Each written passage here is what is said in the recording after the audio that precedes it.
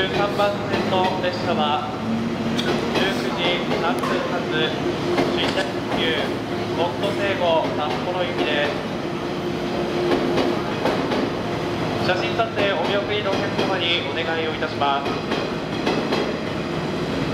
列車発車の際大変危険ですので黄色い線までお下がりください。